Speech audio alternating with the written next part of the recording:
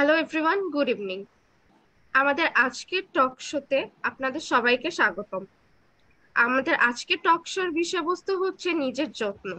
আমরা মানসিকভাবে নিজের যত্ন কীভাবে নিতে পারব তা নিয়ে আজকে আলোচনা করবে আমাদের সাইকোলজিস্ট বুসা মাহমুদা আপু। আপু আপনাকে অনেক অনেক স্বাগতম আজকে আমাদের টক শোতে কেমন আছেন? ভালো আছি। তুমি কেমন আছো? জি আলহামদুলিল্লাহ আমিও ভালো আছি। তো প্রথমেই আমি যে কোয়েশ্চেনটা করতে চাই সেটা হচ্ছে, আমরা মানুষ, মনের শান্তি, মনের যত্ন বলতে আসলে কি বুঝি সাইকোলজিক্যালি যে মানসিক ভাবে আমি আমার মনের যত্নটা কীভাবে নিব? সাইকোলজিক্যালি আমরা কীভাবে ডিফাইন করতেছি মনের যত্নকে? মনের যত্ন কীভাবে নিব? তোমার প্রশ্নটা কি তাই? আচ্ছা। মনের যত্ন যদি বলি তো শরীর আর মন হ্যাঁ? দুটা পার্ট তো। তো আমরা ঠিক যেমন ভাবে শরীরের শরীরের দিকে খেয়াল রাখি, মনে করো যেমন পেইন হলে, কোনো ব্যথা পেলে হ্যাঁ? যখন আমরা এটা মানে এটার জন্য ট্রিটমেন্ট নিতে যাই, এটা ফিল করি, গুরুত্ব দেই হ্যাঁ? ঠিক তেমন ভাবেই আমরা যখন মনের মনের ভিতরে নানা ধরনের কষ্ট জমা হয় বা কষ্ট পাই। নানা ধরনের সমস্যা মনের ভিতরে থাকে চিন্তা ভাবনায় কোনো ধরনের মানে অসংলতা থাকে হ্যাঁ? তখন আমার মনে হয় যে হচ্ছে যে আমি হয়তো বা ভালো নাই হ্যাঁ? তো এই জায়গাটা ঠিক শরীরের যেভাবে ট্রিটমেন্ট নেওয়া দরকার, ঠিক এইভাবেই মনের জন্য ট্রিটমেন্ট নেওয়াটা জরুরি। কারণ হচ্ছে এটা জানো তুমি যে শরীর আর মন দুটাকে কিন্তু আলাদা করা যায় না। দুটা আসলে একসাথে। আমাদের যেমন বডি পার্ট যদি আমি বলি, আমার চোখ, কান, নাক, মুখ হ্যাঁ?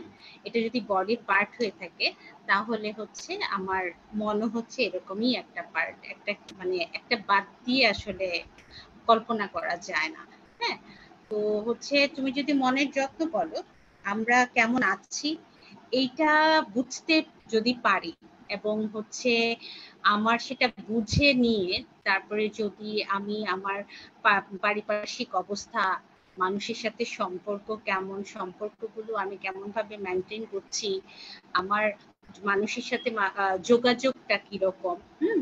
এবং আমার ইমোশনটা যে হচ্ছে, এই ইমোশনটা আমি ম্যানেজ করতে পারছি কিনা বা ইমোশনের সাথে কোপ করতে পারছি কিনা, ডিল করতে পারছি কিনা যদি এই জায়গাগুলো হয় এবং তার সাথে সাথে যে প্রবলেমগুলো আমাদের আমাদের জীবনে আসে সেই প্রবলেমগুলো যদি আমরা সলভ করতে পারি এবং আমার লাইফের কোনো টার্গেট যদি থাকে, ওই টার্গেটে যদি পৌঁছাতে পারি হ্যাঁ এই সবগুলো অ্যাক্টিভিটি যখন আমি করতে পারব সুস্থভাবে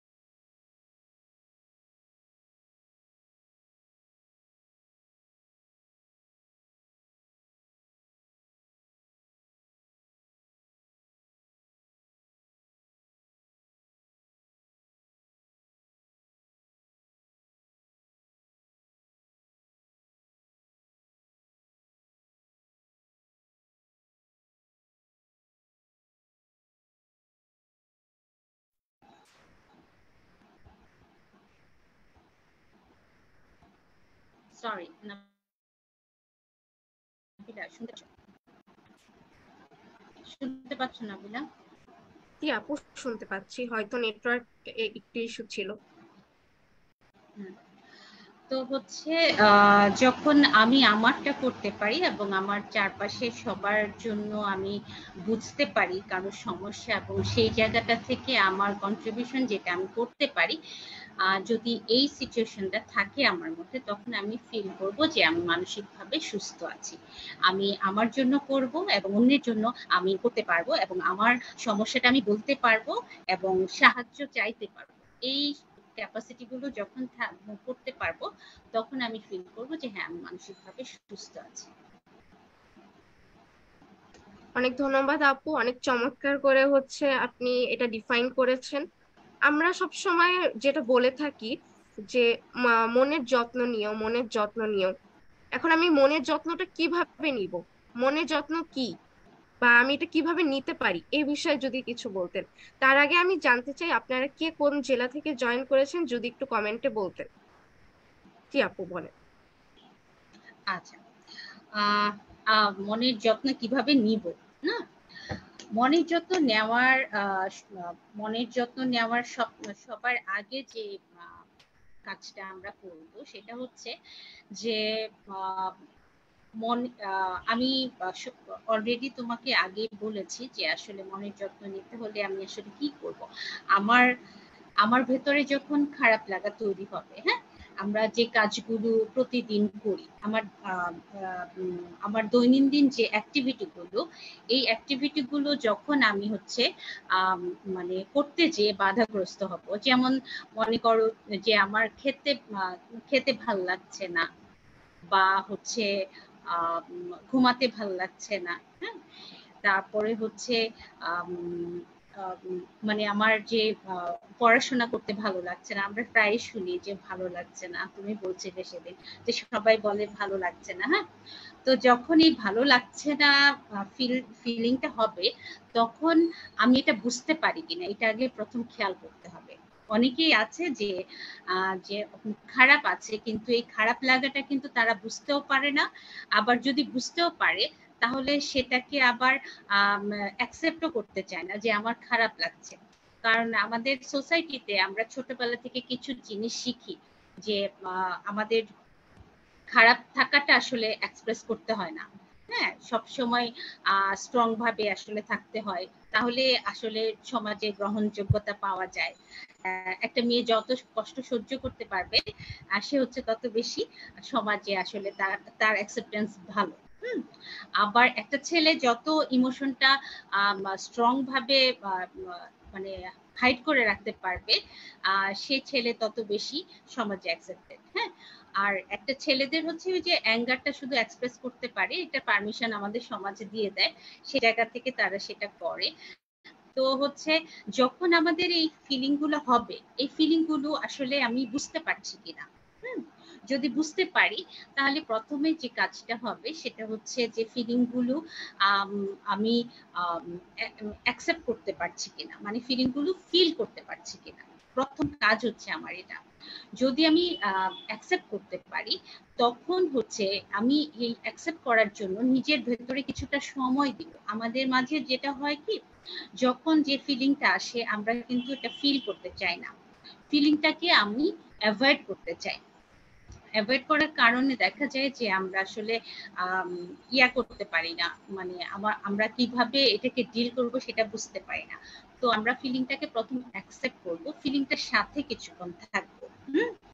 তারপরে হচ্ছে যে আসলে এই যে আমার, মনে করো তোমার রাগ হচ্ছে প্রচণ্ড হুম?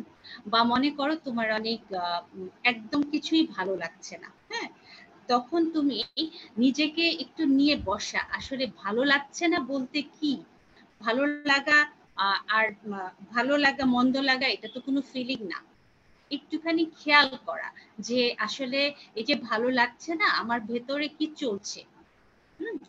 যে বিষয়টা ভেতরে আমার চলছে, আমি, আমরা কিন্তু প্রত্যেকটা ফিলিং কিন্তু বডির কোনো না কোনো জায়গায় ফিল করি। তো ওই ফিলটা একটু খুঁজে বের করার সময় নিয়ে। হুম?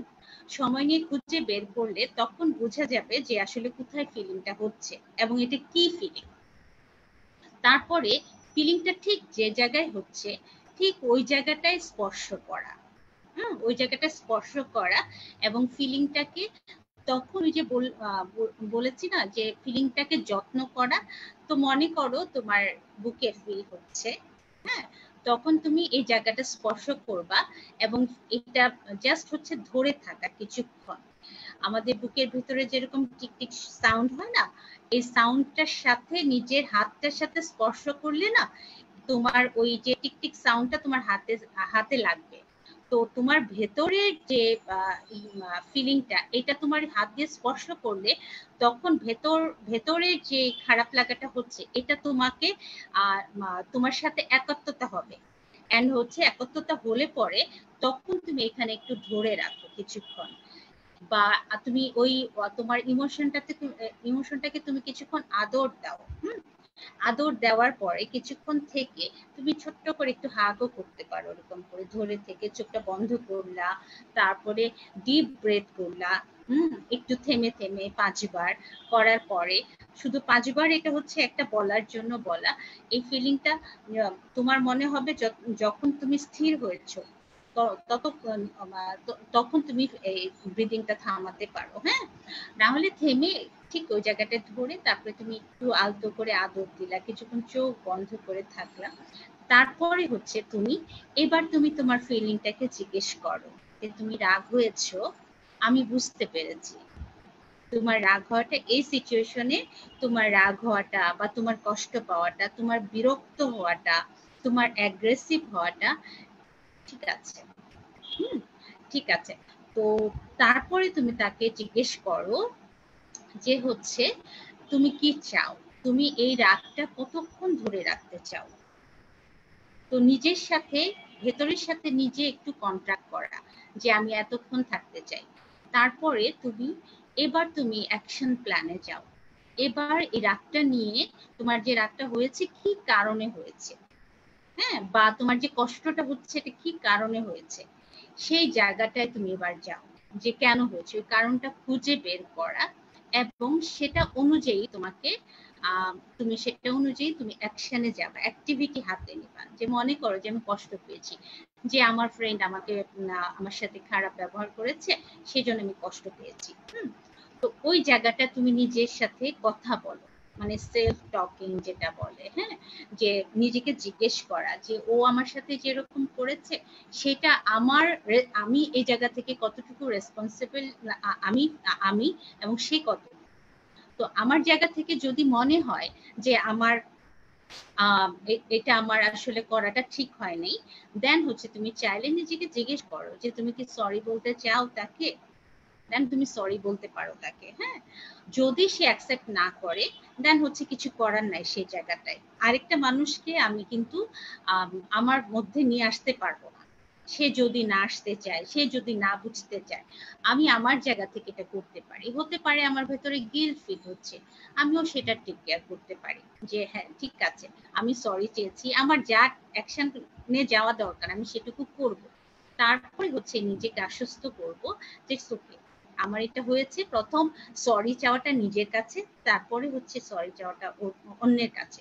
তারপরে তুমি রিল্যাক্স ফিল করবে এবং সমস্যাটা তখন তুমি এখান থেকে যখন ওইটার সমাধানটা আসবে তখন আস্তে আস্তে তোমার ভালো লাগা কাজ করবে। এই যে তুমি পুরো প্রসেসটা করবা, এটাই হচ্ছে তুমি মানসিকভাবে নিজেকে কীভাবে যত্ন করবে। প্রথম হচ্ছে এই জায়গাটা নিতে হয় হ্যাঁ? তারপরে হচ্ছে তুমি অন্যান্য অ্যাকশনে যাবে। থ্যাংক ইউ আপু, অনেক ধন্যবাদ। অনেক সুন্দর করে আপনি বুঝিয়েছেন কীভাবে আমাদের মনের যত্ন নিতে হয়। মূলত প্রথমত আমাদের ফিলিংসটাকে আইডেন্টিফাই করতে হবে যে আসলে আমরা কি ফিল করতেছি, এরপরে হচ্ছে বাকি সব স্টেপ যদি একটু দেখি যে আমাদের সাথে কে কে যুক্ত আছে, আমাদের সাথে অনেকে যুক্ত আছে। শামীম আহমেদ, মৃদা আছে, সাদিকা মার্জিয়া আছে, এছাড়াও আরও অনেকে রয়েছে। আমি আমি জানতে চাচ্ছি যে আপনারা কে কোন জেলায় আছেন, কমেন্টে জানাবেন। যদি পরবর্তী কোয়েশ্চেনে চলে যাই, আমাদের জীবন খুবই ব্যস্ততায় কাটে।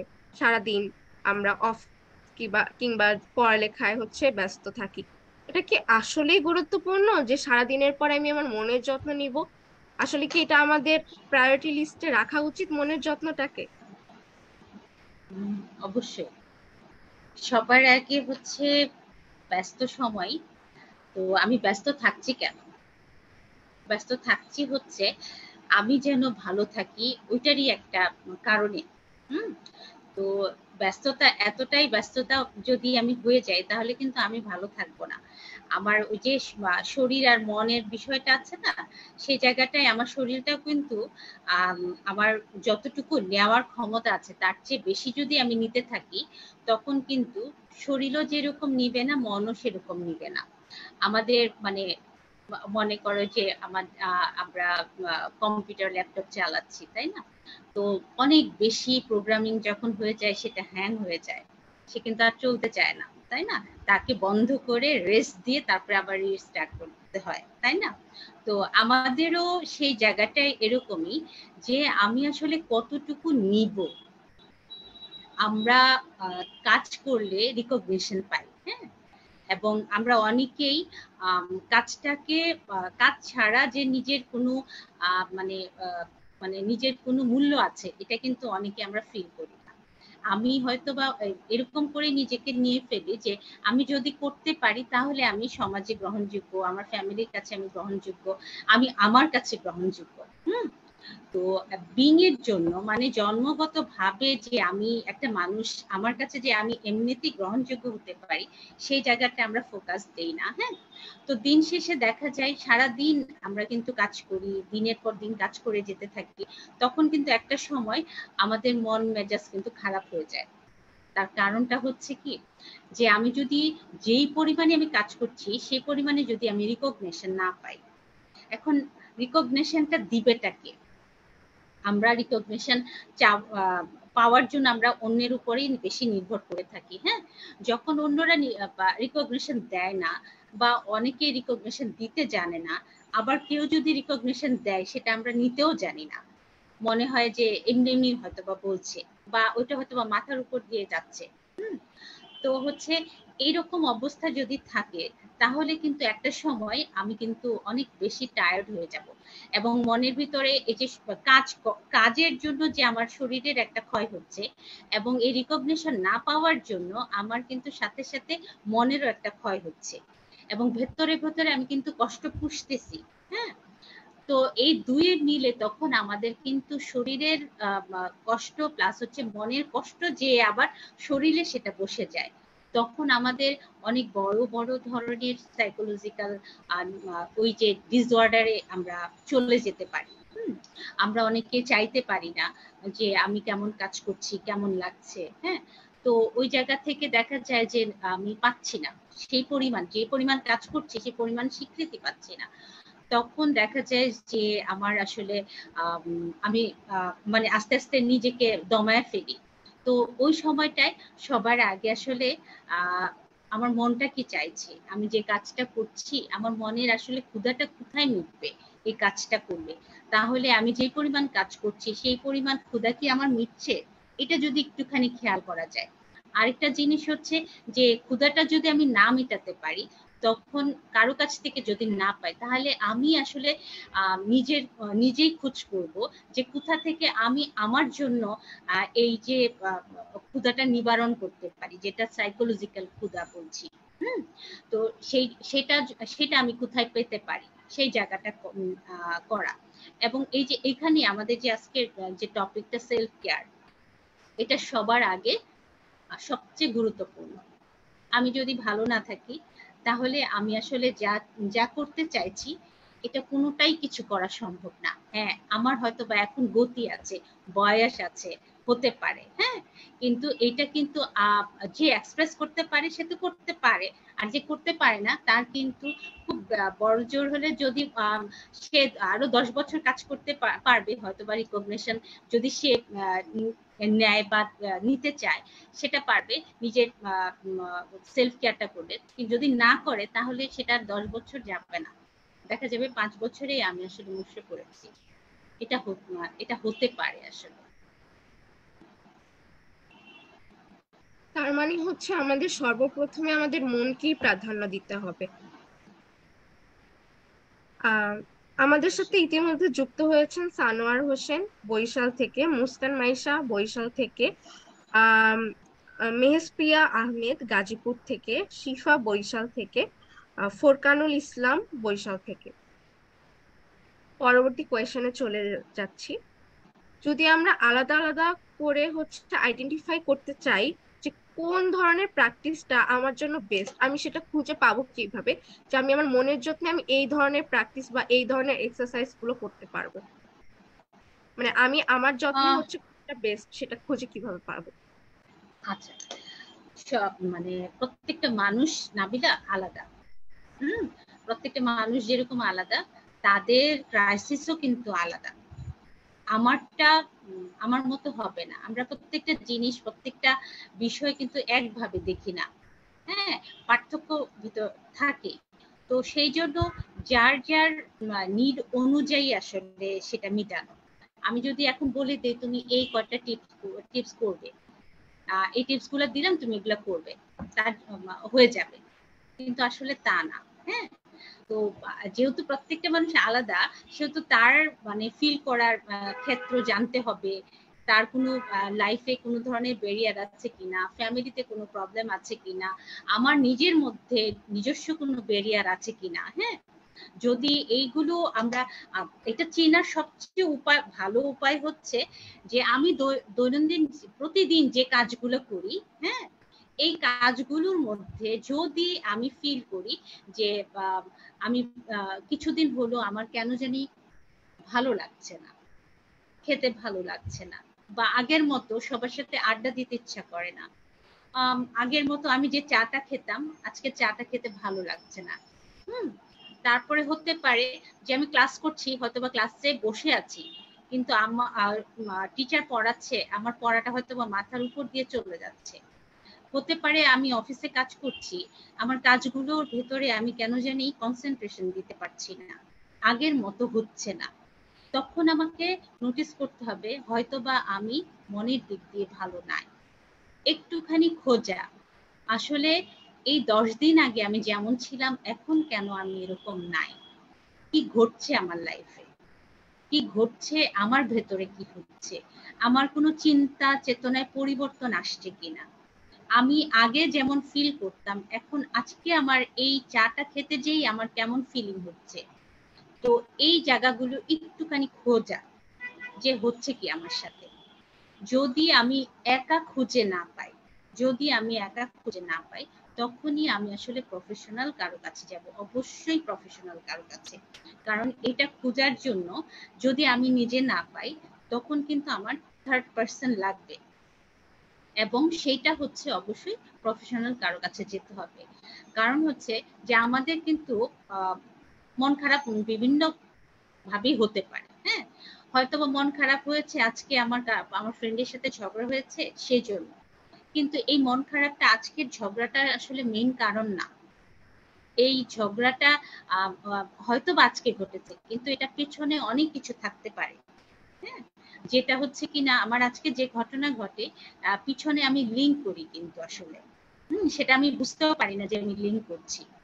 হ্যাঁ যখন একটু খেয়াল করলে দেখবা যে আমার যখন মন খারাপ থাকে বা কেউ ধমক দিয়েছে, কেউ বকা দিয়েছে, আমরা কিন্তু কানতে কানতে বলতে থাকি, আমার জীবনে আর কিছুই হয় না। কেউ আমার দিকে কেউ তাকায় না, কেউ আমার কথা শুনে না, কেউ ভালোবাসে না, মাও এরকম করে, ভাইয়া এরকম করে, ও আমার সাথে এরকম করল, কেন ওরা এরকম করে? আমি তো সবার জন্য অনেক করি, তারপরেও কেন মানুষ এরকম করে? হুম? এই কথাগুলো খেয়াল করলে বুঝতে পারবা যে আসলে এগুলোর পেছনে অনেক লিঙ্ক রয়েছে। তখন তুমি কারও হেল্প নিতে চাইতে পারবা।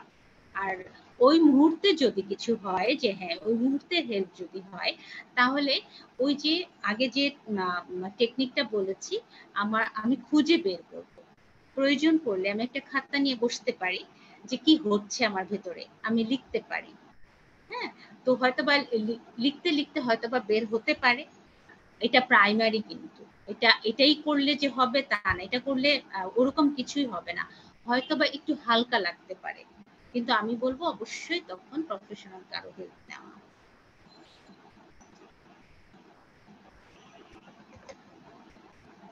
অডিয়েন্সের কাছে জানতে চাইব, আপনাদের যদি কোনো মানসিক স্বাস্থ্য সংক্রান্ত কোনো প্রশ্ন থাকে, তাহলে আমাদেরকে তা কমেন্টের মাধ্যমে জানাতে পারেন। যেরকম আপু একটু আগে বললেন যে আমরা ডেইলি রুটিনে কিছু কমন ব্যারিয়ার ফেস করি। তাহলে হচ্ছে আমরা সেই কমন ব্যারিয়ার্সগুলা কীভাবে ওভারকাম করে ডেইলি রুটিনটাকে হচ্ছে সুন্দরভাবে মানে জীবনযাপন করতে পারব লিড করতে পারব? ডেইলি রুটিন আরেকবার বলো। যেরকম আপনি আগের প্রশ্নের উত্তরে বলেছিলেন যে আমরা কিছু কমন ব্যারিয়ার ফেস করি আমাদের লাইফে রেগুলার আমরা স্ট্রাগল করি তো আমরা সেই স্ট্রাগল থেকে আমরা ওভারকামটা কীভাবে করব? মানসিকভাবে।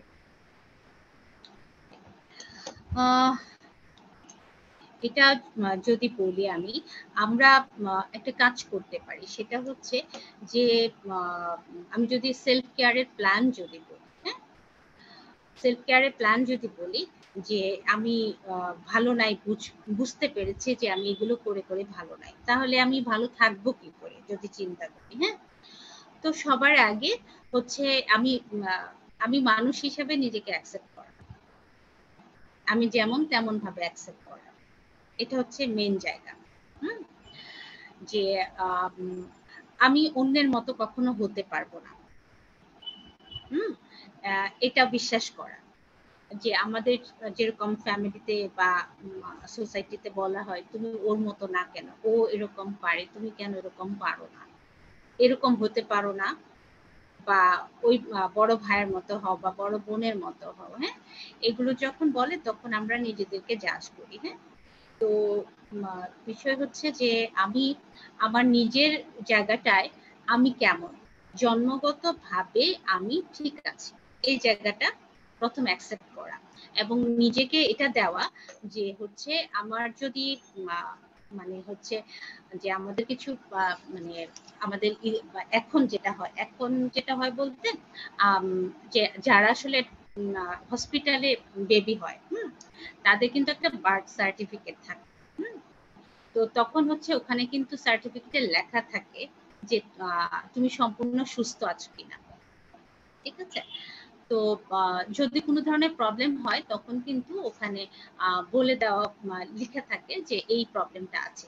আর যদি না থাকে, তাহলে আমি ধরে নিতে পারি যে, আমি সম্পূর্ণ সুস্থ, স্বাভাবিক এবং হান্ড্রেড পার্সেন্ট ব্রেন নিয়ে পৃথিবীতে এসেছি। হ্যাঁ এবং আমি সম্পূর্ণ ওকে। এই জায়গাটা প্রথম নিজেকে বলা যে I am okay as I am okay? আমার ভিতরে যদি, আমি যদি অন্যের মতো করে, যেমন মনে করি যে একজনকে দেখাচ্ছে যে, তুমি ওর মতো না কেন? ওই জায়গায় না যেয়ে, আমি যদি নিজের নিজের কাছে থাকি, নিজের কাছে থাকি মানে আমার যা আছে তা নিয়ে আমি হ্যাপি থাকি। তো আমাদের খারাপ লাগা তৈরি হয় যখন আমি অন্যের দিকে তাকাই। অন্যের দিকে তাকাই মানে অন্যর ওর মতো না কেন আমি বা ওর মতো কেন করছি না? ওই দিকে যদি তাকাই তাহলে হচ্ছে আমার মধ্যে খারাপ লাগা তৈরি হয়। তো আমি আমার মধ্যে প্রথম ব্যাক করব। তারপরে হচ্ছে আমি চিন্তা করব যে আমি আমাকে কীভাবে ভালো রাখতে পারি? কি নিড আমার? কি চাই আমি? তো শরীর আর মন দুটোকে আমি একটু করি হুম? ভাগ করে শরীরের জায়গাটায় আমি প্রথম লিস্ট ডাউন করতে পারি যে হচ্ছে আমার একদম পা থেকে মাথা পর্যন্ত আমি সুস্থ আছি কিনা।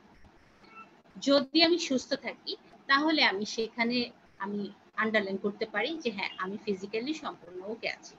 আমার বড় ধরনের কোনো অসুস্থতা নেই। দেন হচ্ছে সেকেন্ড যে পার্টে হচ্ছে আমার মন। তো আমার এই মন ভালো রাখার জন্য আমি কি করতে পারি? তো প্রথম হচ্ছে নিজেকে, প্রথমটাই হচ্ছে নিজেকে অ্যাকসেপ্ট করা। যখন আমি নিজেকে অ্যাকসেপ্ট করছি, তখন কিন্তু আমার মধ্যে ব্যারিয়ার যেগুলো, এগুলো কিন্তু চলে যাচ্ছে, যেগুলো সাইকোলজিকে আমার আমাকে ডিস্টার্ব করে। ওগুলা কিন্তু তোমার দূরে থাকবে। তো তারপরে হচ্ছে আমার যে ফিলিংগুলা হবে ফিলিং গুলাকে অ্যাকসেপ্ট করে তারপরে হচ্ছে নিজের দিকে খেয়াল করা যে আমি আসলে নিজেকে আর কীভাবে ভালো রাখতে পারি। আমি তো অ্যাকসেপ্ট করলাম। আমার যে ইমোশন হবে সেটাকেও আমি অ্যাকসেপ্ট করব। তারপরে হচ্ছে যে আমার যেটা আমরা নর্মালি সবাই করি, যে আমার সারা দিনটা আমি আসলে কীভাবে কাটাই? কতটুকু সময় আসলে আমি মানে মানে আমি অ্যাক্টিভিটি করি? কতটুকু সময় আমি মানে পড়াশোনা করি? কতটুকু সময় আমি কাজ করি? কতটুকু সময় আমি আসলে নিজের সামাজিকভাবে যে আমার দায়িত্ব, সেই জায়গাগুলো কতটুকু করি? এবং আমার ফ্যামিলির সাথে আমার সম্পর্ক কতটুকু আছে? আমি কতটুকু ফ্যামিলি প্রোগ্রামগুলোতে যাচ্ছি? সবার সাথে বন্ধু বান্ধবদের সাথে সময় কাটাচ্ছি কতটুকু হ্যাঁ? এবং সবার আগে হচ্ছে যে আমি নিজের সাথে নিজে কতটুকু সময় কাটাচ্ছি? এই যে, এই জায়গাগুলো এবং খোঁজা যে আমার লাইফে এরকম কোনো মানুষ আছে কিনা, যে কিনা আমাকে, আমি যেমন তেমন ভাবে আমাকে অ্যাকসেপ্ট করবে। এটা যখন আমরা প্রশ্ন করি নিজেকে, তখন আসলে আমাদের লাইফে কেউ থাকে না। আমাদের আসলে ওরকম করে কেউ আমার লাইফে বেসিক্যালি কেউ থাকে না। এটা মানে আমরা যখন কাজ করি তখন মানুষের অনেক কষ্ট হয় এই জায়গাটা ই করতে, যে আমি অনেক কিছু করি মানুষের জন্য, তারপর আমার লাইফে কেন একটা মানুষ নাই? আসলে এটা থাকা সম্ভব না। হুম? তো এটা বানানো যায়। এই সম্পর্কটা বানানো যায় আসলে। তো ওইটা বাইরে। আর ভেতরে আমি আমার সাথে, আমি আমাকে কতটুকু চিনছি, জানছি। এই যে আমি যে কয়টা পয়েন্ট বললাম, এই কয়টা পয়েন্টে আমি দিনে কতটুকু সময়, কতটুকু ভাগে আমি কাটাই? এখানে যদি কোনো অংশে কম বেশি হয় হ্যাঁ তাহলে কিন্তু আমি বুঝব যে বোঝা যায় যে আমি খারাপ আছি। তখন আমি খেয়াল করব যে আমার ওই ভাগ, এই যে আমি এতগুলো ভাগ রয়েছে, এই ভাগের কোন ভাগটাতে আমার বেশি সময় কাটতেছে? এমনও হয় যে আমি দিনের বেশিরভাগ সময় আকাশের দিকে তাকায় তাকায় চলে যায় বা হয়তোবা আমি পড়ছি, বইটা সামনে আছে, হয়তোবা আমি কি পড়ছি আমি জানি না। দিন শেষে দেখা যায় আমি একটা পাতাও পড়িনি বইয়ের। হ্যাঁ হয়তোবা আমি সিনেমা দেখছি সিনেমা দেখছি কিন্তু দিনের পর দিন। মানে সারাদিনই দেখছি। কিন্তু সিনেমার যদি থেকে, আমি যদি ফিল করি যে সিনেমা থেকে আমি আমার ভালো লাগা কি পেয়েছি, যদি আমি সেটা খুঁজে না পাই, তাহলে আমি বুঝব যে আমি আসলে সিনেমার মধ্যে নাই। আমরা সাধারণত এটাকে বলি যে নিজেকে ওই জায়গাটা থেকে যখন গুটিয়ে ফেলি আসলে। তো এই যে, এই জায়গাগুলো, যে গুটিয়ে ফেলার জায়গাটুকু যদি বেশি হয়ে যায়, তখন আমাকে খেয়াল করা দরকার করতে হবে যে আমি এই যে অন্যান্য ভাগে আমি সময় আসলে আহ এই গুটিয়ে ফেলার ভাগটা বেশি হয়েছে নাকি অন্য ভাগে বেশি যাচ্ছে? যদি গুটিয়ে ফেলার ভাগটা বেশি হয়, তাহলে আমি অন্যান্য যে সেক্টরগুলো আছে, সেখানে কোথায় কম পড়ছে যার কারণে আমি খারাপ আছি। এই প্ল্যানটা যদি আমি করতে পারি তো তাহলে হয়তো বা আমরা ভালো থাকতে পারি। সেগুলো আমরা করি দিনে। দেখা যায় বন্ধু বান্ধবদের সাথে গল্প করছি। দেখা যাবে যে হ্যাঁ বন্ধু বান্ধবদের সাথে গল্প করছি, এতই আড্ডা দিচ্ছি। হ্যাঁ ওটার কোনো মিনিং নাই কিন্তু। অন্য জায়গায় আবার কম পড়ছে আমার। তখন আবার পড়া হচ্ছে না। তখন এই জায়গা থেকে আমি পড়তে পারলাম না, সেই জায়গা থেকে কিন্তু আমি আবার খারাপ ফিল করব। তো আবার কিছুটা সময় আমি নিজেকে একটু প্রকৃতির মধ্যে নিজেকে ছেড়ে দেওয়া, যে ওখান থেকে ফ্রেশ ব্রিথটা নেওয়া, সেটুকু আমি করছি কি? নাকি আমি ঘরের মধ্যে বন্দিই থাকতেছি? সেই জায়গাগুলো খেয়াল করা। তবে আমি, যদি আমি এই জায়গাগুলো আসলে পূরণ করতে পারি তখন আমি ফিল করব যে আমি ভালো আছি। এটা নির্দিষ্ট কোনো মানদণ্ড যে আছে তা না। আমি ব্যালেন্স আমি ফিল করব যে হ্যাঁ আমার এই জায়গাগুলোতে ব্যালেন্স হচ্ছে। তবে আমি ফিল করব যে আমি ভালো আছি। আপু আপনি চমৎকার করে সব কোয়েশনের আনসারগুলো দিচ্ছেন। আমি অডিয়েন্সের কাছে জানতে চাইব, আপনাদের যদি কোনো মানসিক স্বাস্থ্য সংক্রান্ত কোনো প্রশ্ন থাকে, তাহলে আপনারা কমেন্টের মাধ্যমে তা জানাতে পারেন। এছাড়াও আমাদের লাইভটি যারা দেখছেন, তারা শেয়ার করে দিতে পারেন। আমাদের লাইভে একটা কোয়েশ্চেন আসছে। মে মাসে আমার ব্যবসায় প্রায় ছয় দশমিক সাত শূন্য লাখ পরিমাণ টাকা লোকসান হয়।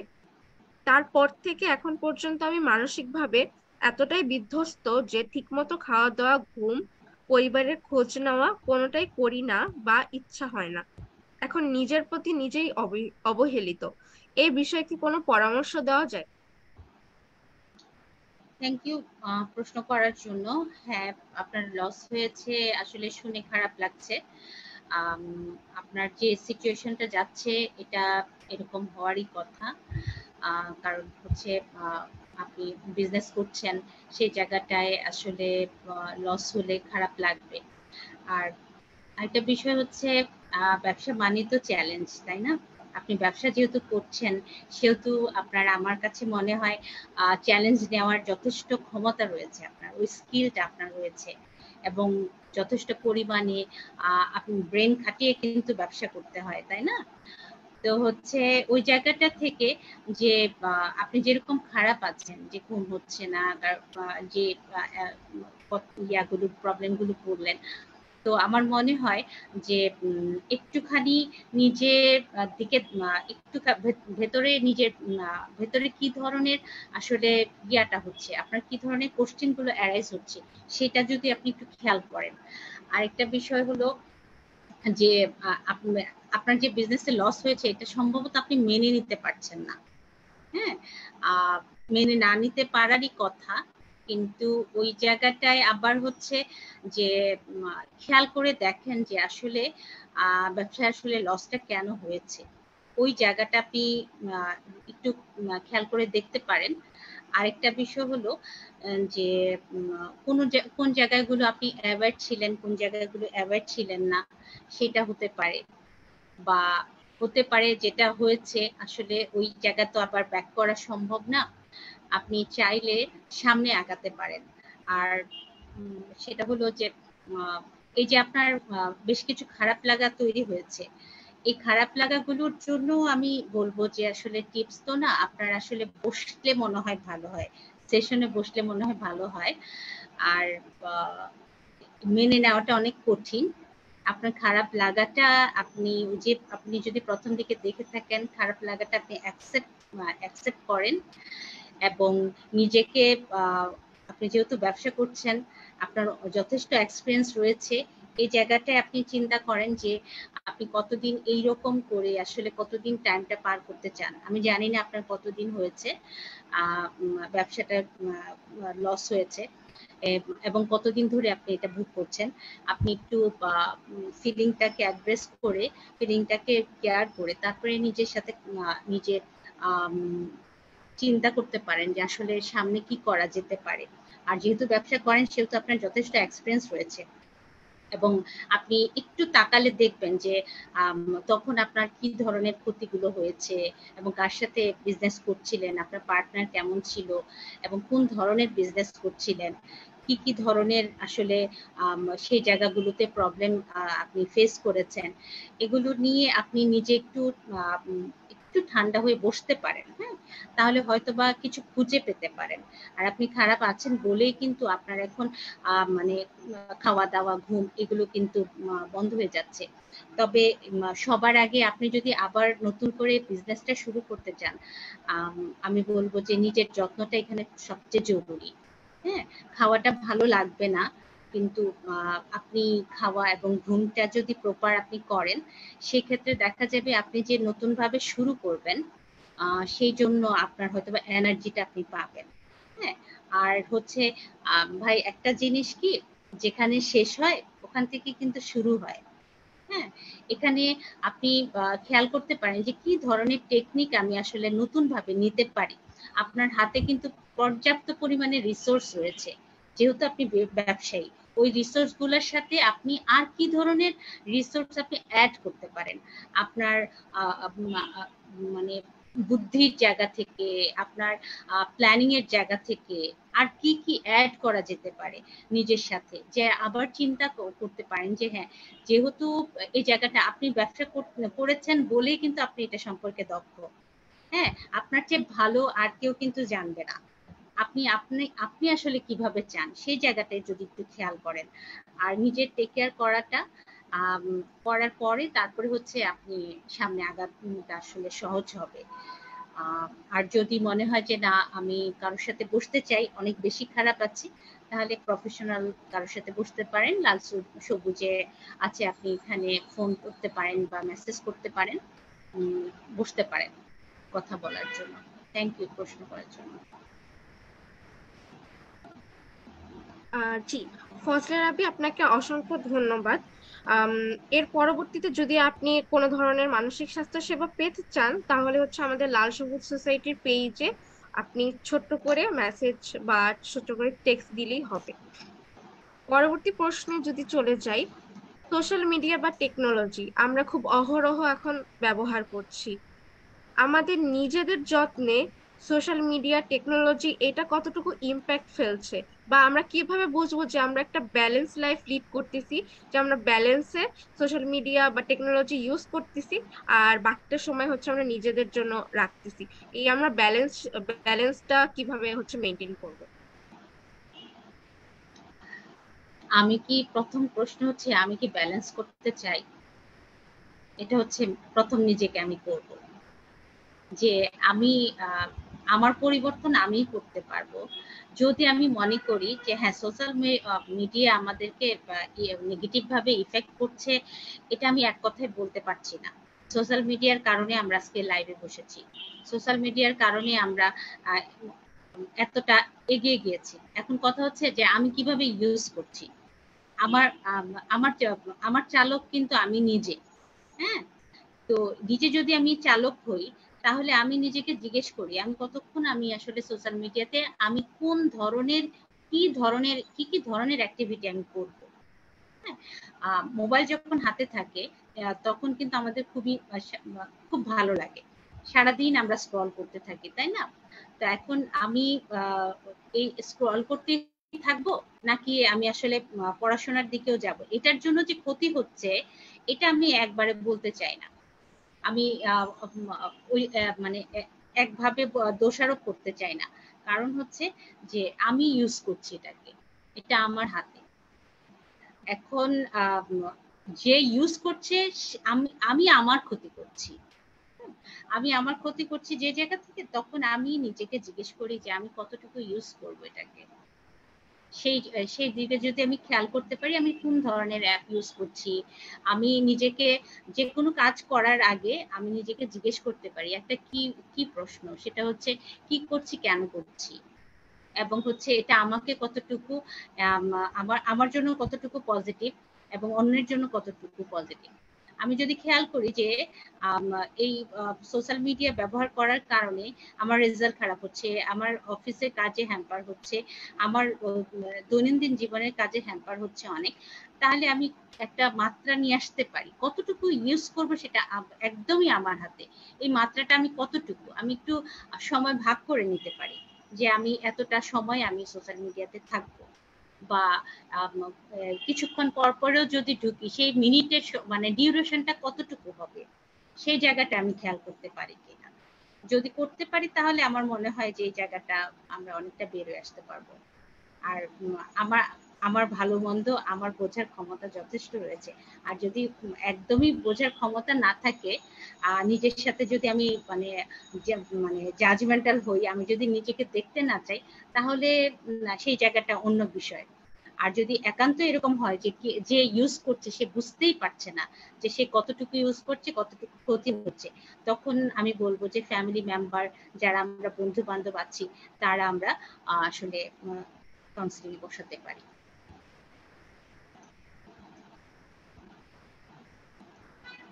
আমরা আমাদের আলোচনার প্রায় শেষ পর্যায়ে চলে এসেছি। এই মুহূর্তে আপনাদের যদি মানসিক স্বাস্থ্য সংক্রান্ত কোনো প্রশ্ন থাকে, তা কমেন্ট বক্সে জানাতে পারেন। পরবর্তী প্রশ্নে যদি যাই আমরা নিজেদের যত্ন করতে গিয়ে কি নিজেদের ক্ষতি করে ফেলছি? এখন আমরা নিজেদের ক্ষতি করছি কিনা, এটা কীভাবে বুঝব? এখন নিজেদের যত্ন আর নিজেদের ক্ষতি, এই দুইটাকে আমরা কীভাবে হচ্ছে আলাদা করব? ওকে যখন আমি বলছি যত্ন, হুম, যত্নর একটা লিমিট আছে। এখন আমি নিজে যত্ন করতে যে এখন এখানে ক্রাইটেরিয়া আছে। হ্যাঁ ক্রাইটেরিয়া আছে, এখন একটা হতে পারে আমি নিজে যত্ন করছি, আরেকটা হচ্ছে আমার ফ্যামিলি মেম্বার যত্ন করছে। হ্যাঁ আমি প্রথম যদি বলি ফ্যামিলি মেম্বাররা যত্ন করছে বন্ধু বান্ধব আমাকে যত্ন করছে হ্যাঁ? এই যত্ন করতে যে যে যত্নটা আমার জন্য আসলে হাসপাস হচ্ছে, সেটা আসলে যত্ন না। হুম? যেমন হচ্ছে যে, আমরা, বাবা মা সাধারণত আমাদের ছোটবেলায় আমাদেরকে খাইয়ে দিতে পছন্দ করে, এবং আমরাও বাবা মার হাতে খেতে পছন্দ করি। বাবা মা কিছু করে দিলে খুব ভালো লাগে। তো হচ্ছে বাবা মা এবং ফ্যামিলি মেম্বার আমার আমাকে সারা জীবন করে দিছে আমি বড় হয়েছি তখনও করে দিয়েছে। আমি স্টুডেন্ট বয়স পর্যন্ত করিয়ে দিয়েছে। এখন যখন আমি আমার সেকেন্ড লাইফে এসছি ম্যারিড লাইফে এসছি, তখন কিন্তু এই যে যত্ন পেয়ে পেয়ে অভ্যাস হয়ে গেছে তো তো আমি আমার হাজবেন্ডের কাছে আমি এটা চাই। যত্ন চাওয়াটা কিন্তু দোষের না হ্যাঁ? কিন্তু কথা হচ্ছে যে আমি কিন্তু আমার হাজবেন্ডকে আমি আমার বাবা মনে করতে থাকি বা মা ওয়াইফকে মা মনে করতে থাকি। যেমন মা এরকম করে করতো, তুমি কেন এরকম করো না? বা ও এরকম করতো, সে, তুমি কেন এভাবে করো না? হ্যাঁ? এবং ইভেন এরকম হয় যে আমার খেতে হবে, এটাও আমি নিজে বুঝতে পারি না। হ্যাঁ? কেউ যদি বলে, তাহলে আমি খাই। বা বসেই আছি, কাজ করছি কাজ করছি। কেউ ধমক দিয়ে উঠায় নিয়ে যাচ্ছে। তোমার খাওয়ার সময় হয়েছে। হ্যাঁ? যে সে নিজে বুঝতে না পারা যে এটা আমার খাওয়ার সময় হয়েছে। হ্যাঁ? তো তখন হচ্ছে এটা মানে প্রয়োজনের অতিরিক্ত যেটা হচ্ছে সেটা আসলে যত্ন না। সেটা যত্ন করতে যেয়ে আমি ক্ষতি করে ফেলছি, যেটাকে আমরা বলি নেগেটিভ নার্চারিং হ্যাঁ? তো এই, এইটা হচ্ছে আমার জন্য ক্ষতিকর এবং আমার গ্রোথের জন্য ক্ষতিকর। এবং ইভেন হচ্ছে শুধু এটুকু না, আমরা যখন পড়াশোনা করি বা ইউনিভার্সিটি লেভেলে পড়ি, তখন দেখা যায় যে আমি হয়তো একটা অ্যাসাইনমেন্ট করছি, আমি ওয়েট করতে থাকি, কেউ একজন আমাকে এই অ্যাসাইনমেন্টটা করে দিবে। সেই করে দেওয়ার জন্য আমার যা প্রয়োজন, আমি হয়তো বা সেই কাজগুলো করছি এবং অ্যাসাইনমেন্টটা তার কাছ থেকে উদ্ধার করছি। নিজে কিন্তু করছি না। আমি দায়িত্ব নিতে জানি না। এবং আরেকটা বিষয় হয় যে আমি ডিসিশন নিতে পারি না। অতিরিক্ত যত্নের ফলে এখন আমি যদি আমার জায়গায় ব্যাক করি যে আমার যত্ন করছি, আমার যত্নে নিজের সেলফ কেয়ারে একদম নিজের জায়গায় যদি আসি, তো সেই জায়গাটা থেকে যে আমি কষ্ট পেয়েছি ওকে বলতে পারে যে বুসরাপা বলছে যে ফিলিংটাকে অ্যাড্রেস করা ফিলিংটার সাথে থাকা।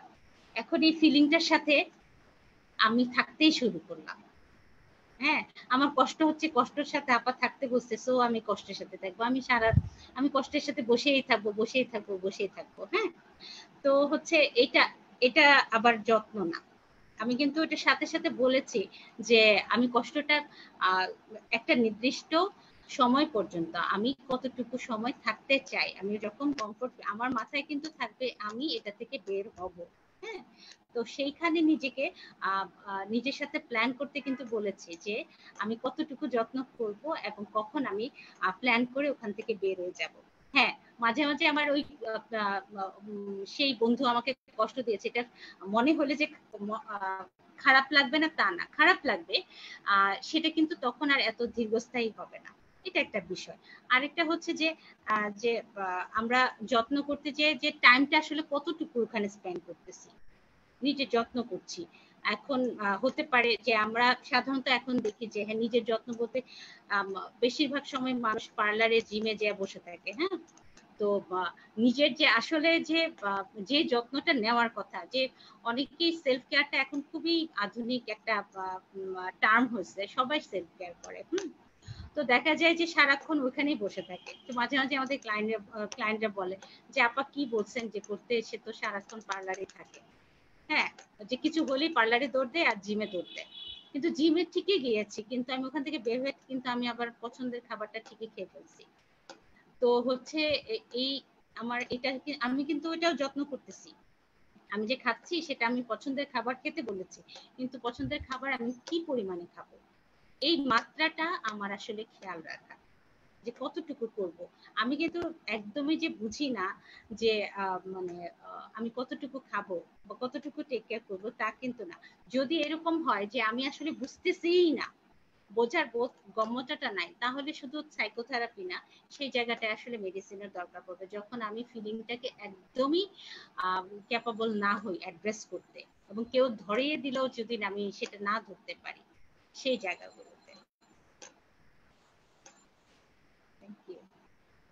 থ্যাংক ইউ সো মাচ আপু।